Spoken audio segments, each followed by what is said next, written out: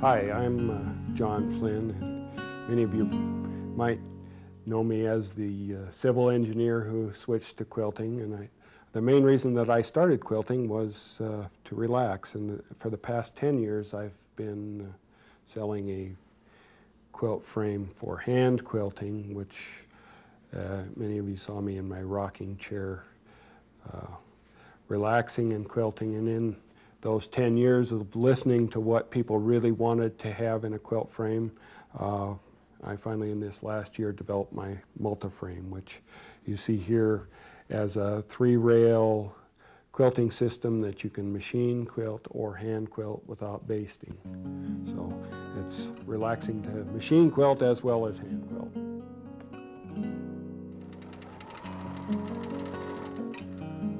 This latest version of the frame comes complete with 48 inch reinforced fiberglass tubes, which are lighter in weight and also keep the completed quilt roll smaller.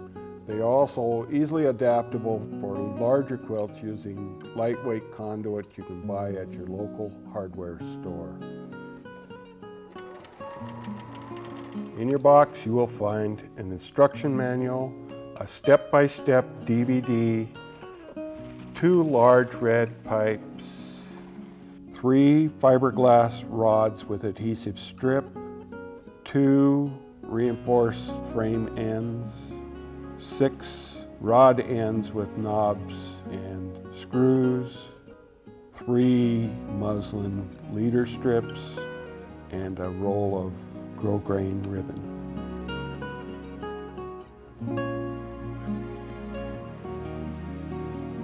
Lay your leader strip out flat on the table and position the rod on the leader strip so that your adhesive strip is close to the edge on the leader strip.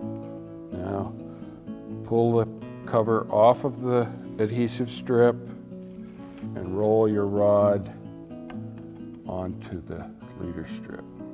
Once your leader strip is attached to the rod, roll the leader strip up on the rod to within three quarters of an inch of the edge and use the rod as a guide to mark your starting point on the leader strip.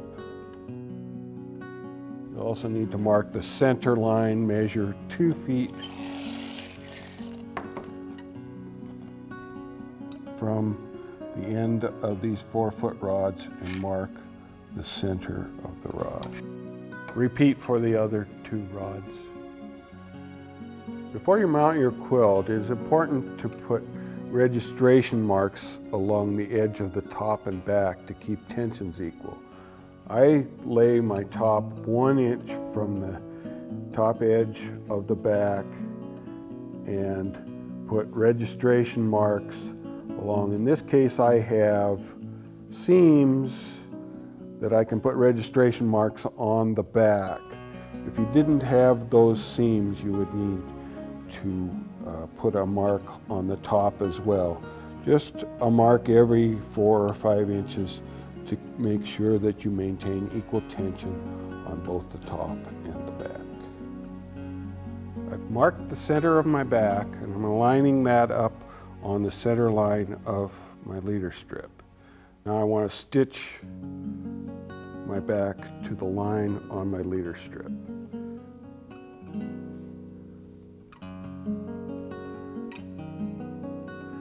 Take one back stitch at the beginning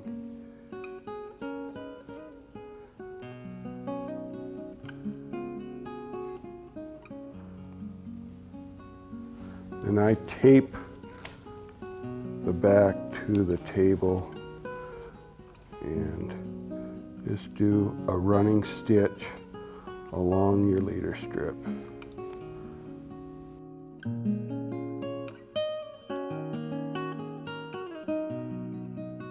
Roll the back up on rod C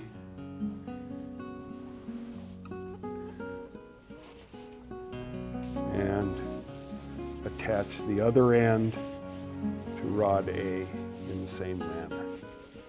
Bring the center of the back up to the center line on the leader strip. Line the back up on the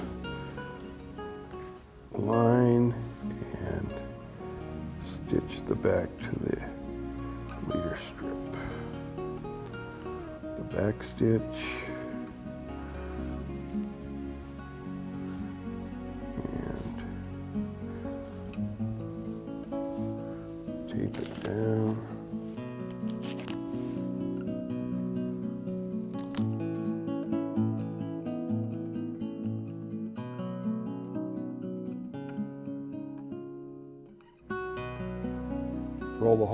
up onto rod C and set those two rods aside.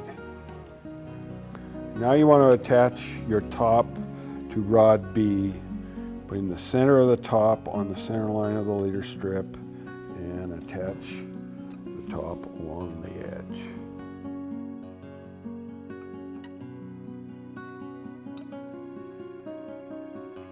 I've taped a flannel black tablecloth to my table so that uh, when I lay the batting out, it, it kind of clings to the batting and I lay the top on the batting and I can roll the two together with some tension to keep the roll tight. You could do this on a carpeted surface, but I didn't want to crawl on the floor today.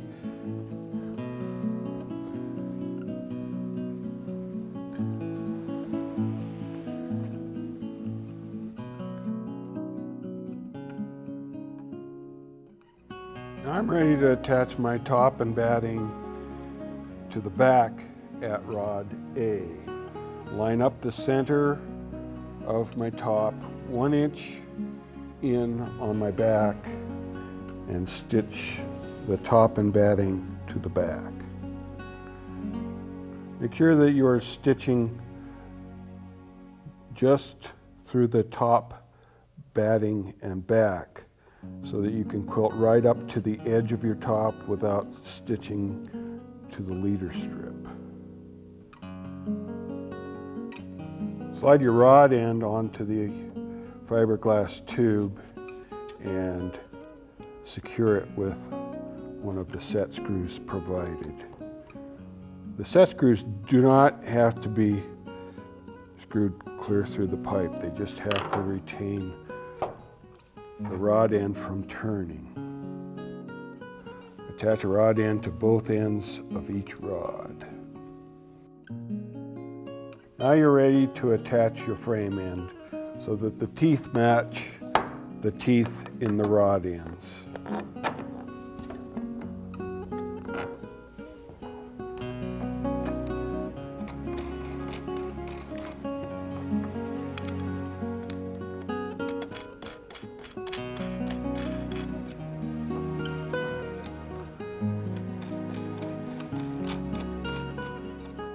Do the same thing on the other end of the frame. Now I want to write, roll the start of my quilt up to within an inch of rod A and tighten both ends of rod A. Now I can tighten the top and batting at rod B and tighten the knob on my right on rod B and tighten the back on rod C and tighten the knob on my right. Now I'm ready for the sewing machine.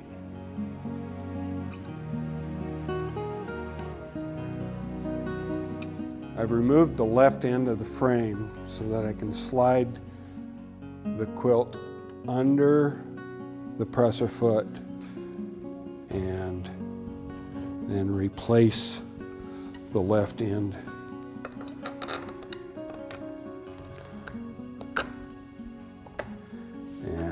retighten the knobs.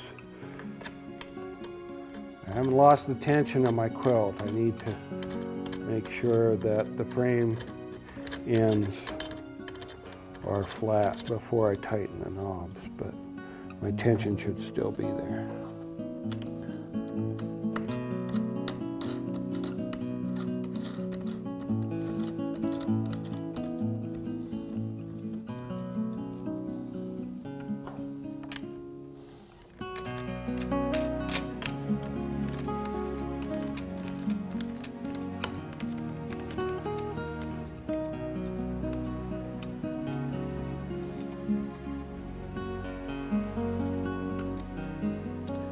Ready to put on the side tension ribbons and start quilting. So to apply side tension, slide your grosgrain ribbon through the slot in the bottom of the frame end, under the frame end, and pin through all three layers.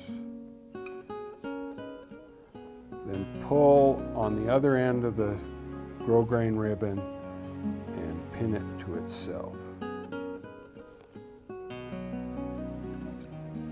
You want to do this on two spots on each end of the frame.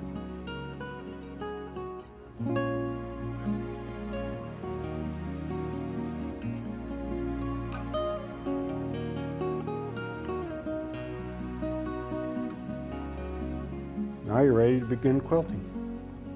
Your quilt frame came with two 24 inch red roller pipes.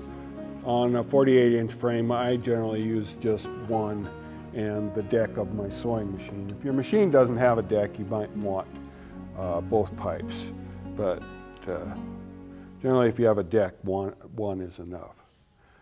You want to start by bringing your bobbin thread to the top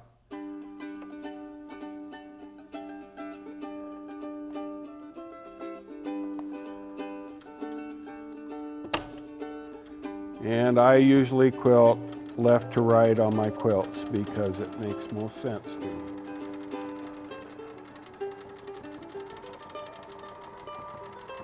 I can quilt clear to the edge because I don't have a leader strip there.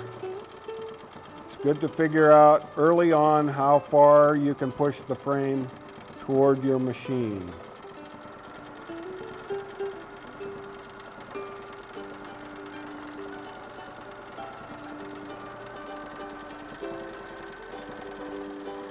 I don't grip the frame, I'm just guiding it by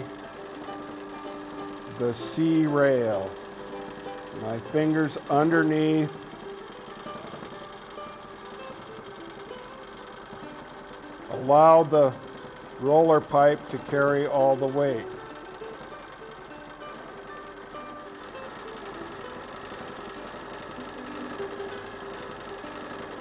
Once I've crossed the center, I need to re reposition my roller pipe to the other side of the frame.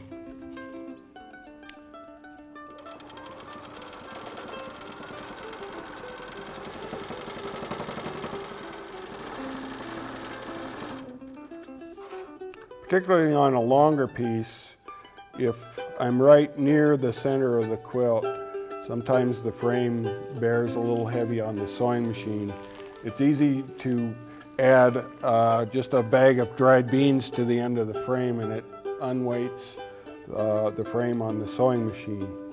The uh, roller acts as a fulcrum and then the frame is easier to move.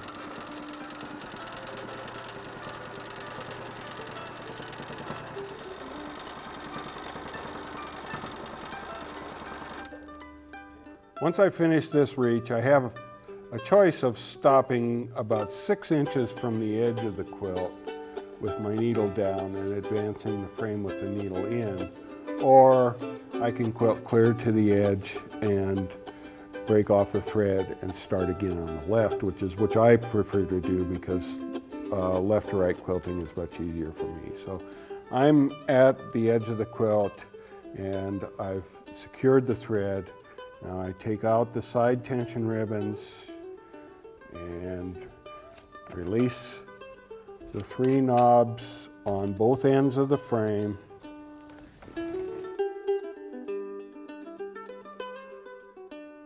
Now I can simply roll the completed quilt up on rod A. Make sure I don't roll too far so that I can sort of overlap my quilting areas and then tighten the knobs on both ends of rod A.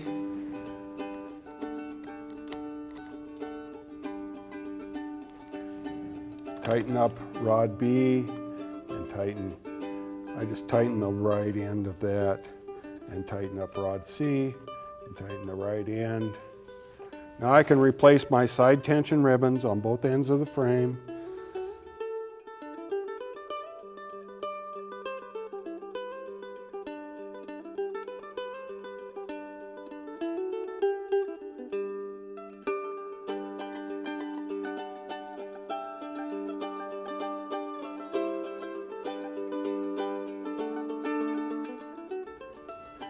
Then I would slide the frame down to the left end of the quilt and start again by pulling up my bobbin thread and quilt the next reach.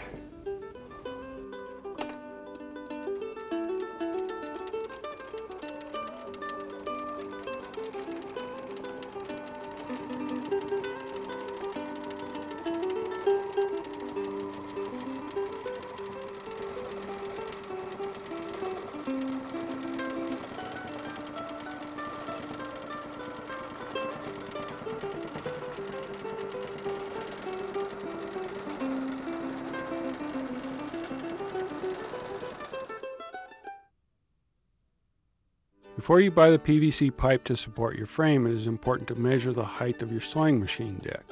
This machine measures 3 and 5 eighths inches, so a 3 inch PVC pipe measuring just over 3.5 inches is perfect. You may have to buy the next size larger pipe and set your machine on a thin piece of plywood if you can't get one that fits perfectly. If you don't have an extension table, you may need to buy two pipes.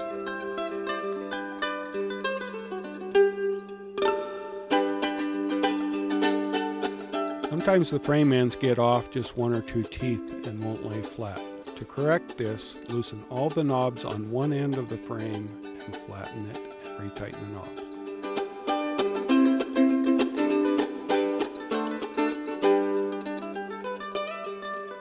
Notice the diagonal seam on the back so that the bulk of the seam does not roll up in one place on the rod. You will need to move the PVC back and forth to balance the frame.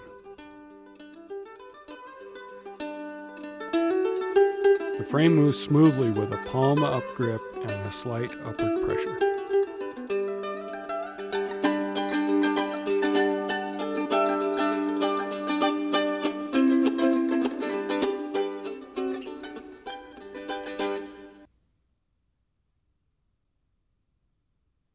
Each time you change the bobbin, you will want to bring the bobbin thread to the top. If you have a top loading bobbin, you will need to slide the frame down to the edge of the quilt and insert the bobbin in the space between the edge of the quilt and the frame end.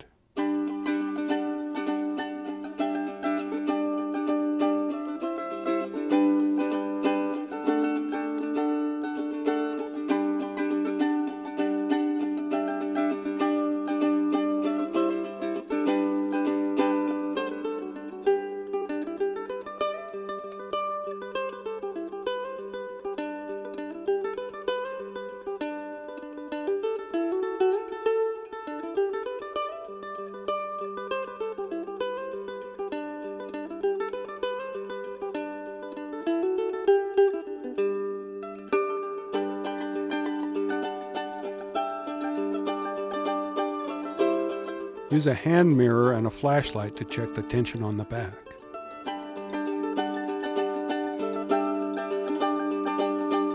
When it's time to move ahead, stop with the needle down about 6 inches from the edge of the quilt.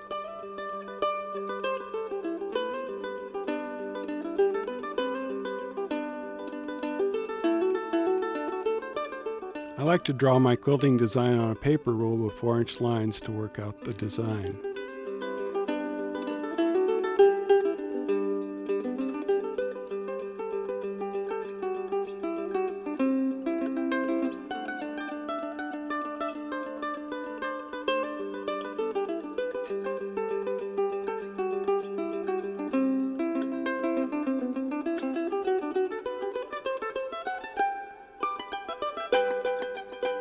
Then I trace over the pattern multiple times with a ballpoint pen, memorizing the quilting pattern. I find this much easier than following a line drawn directly on the quilt.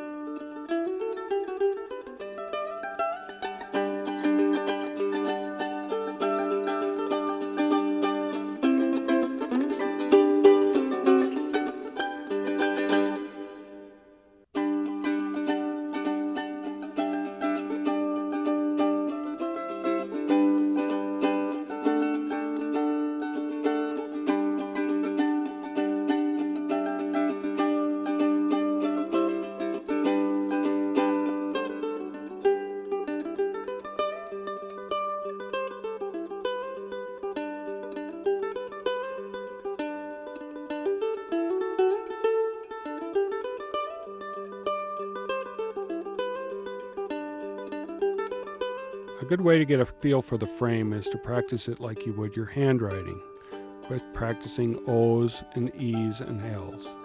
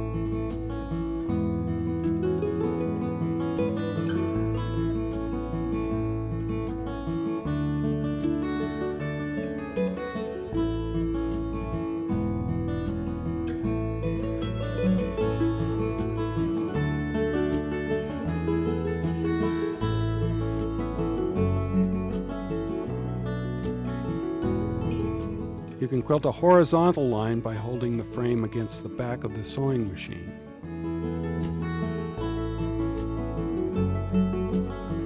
To quilt parallel lines, space with wooden blocks.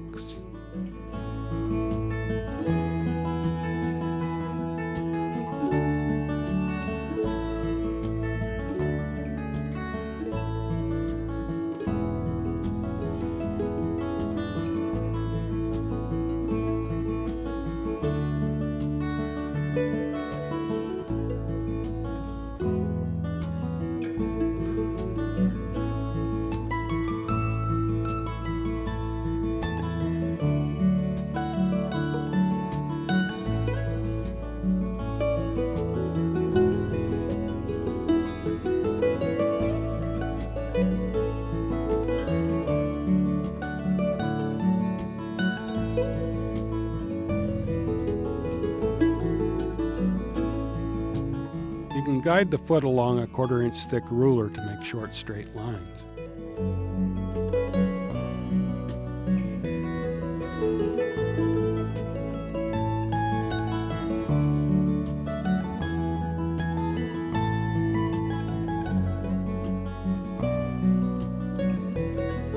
One way to transfer a design is with a perforated pattern. Rub over the pattern with a pounce filled with cornstarch.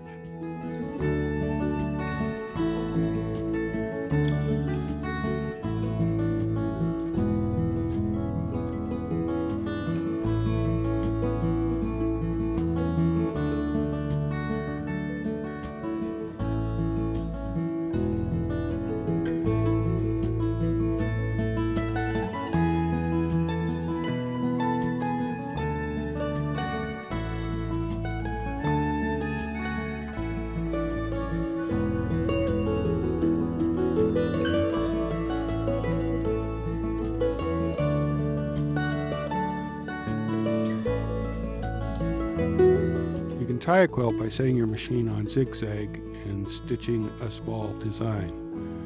Lift your presser foot, move to the next spot, and stitch again.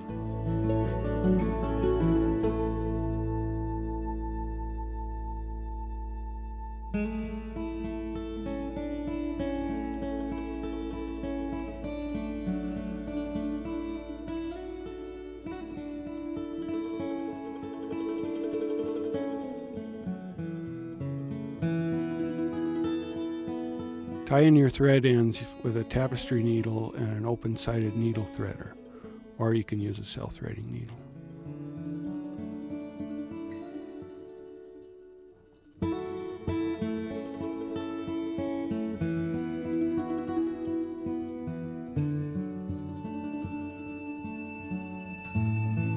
I made myself a batting sampler to see how different battings react to machine quilting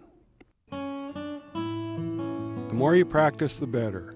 Even though the quilting area is around 4 inches, all the patterns interlock and there is no indication that the quilting was done in 4 inch strips.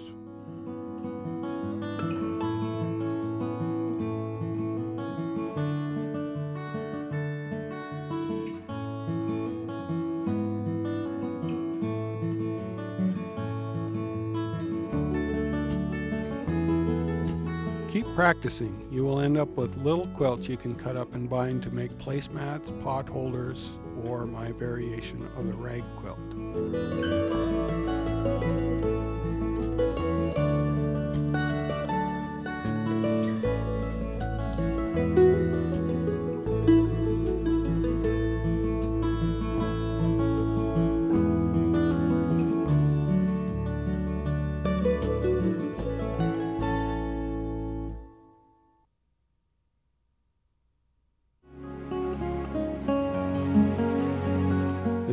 Fortune quilt is basted with water-soluble thread and ready to quilt off the frame.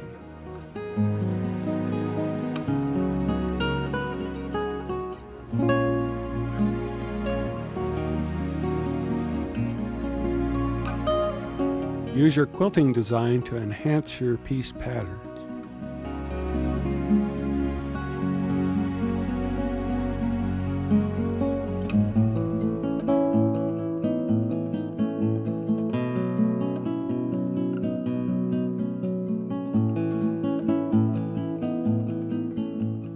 The pebbles a lot to give my quilts texture.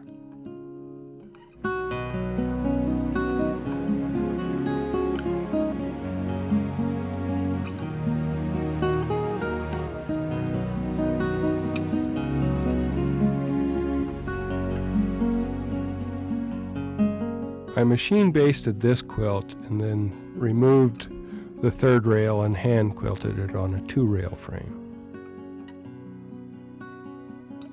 Here I machine basted with washout thread and did the larger quilting pattern off the frame.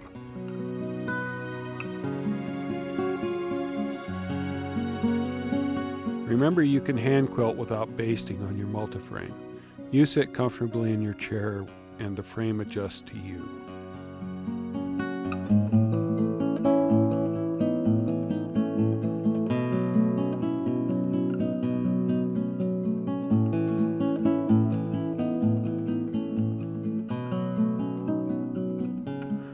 Through quilting, the frame and stand store out of the way.